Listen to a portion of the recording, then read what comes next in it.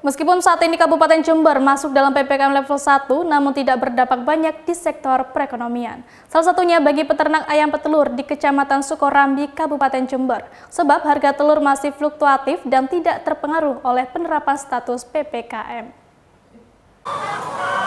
Pada zona PPKM level 1 ini, harga telur mengalami fluktuasi yang lumayan lama. Sebab sejak penerapan PPKM level 3 hingga PPKM level 1, harga telur tidak stabil dan cenderung murah. Menurut salah satu pemilik usaha petelur ayam, Rofi Hidayat mengatakan, perbandingan harga antara PPKM level 3 dan level 1 sangat tidak stabil.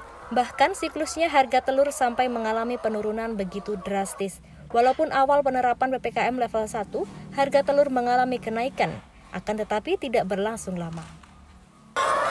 Untuk awal-awal level 3 itu masih agak stabil harga. Cuma setelah pergantian PPKM level 1 harga udah mulai menurun tapi sempat naik dua hari bertahan dua hari itu di kisaran 15 setengah sampai 16 tapi kebanyakan peternak hanya kuat ke 15 setengah. Baginya perbandingan antara PPKM level 3 dan level 1 tetap sama.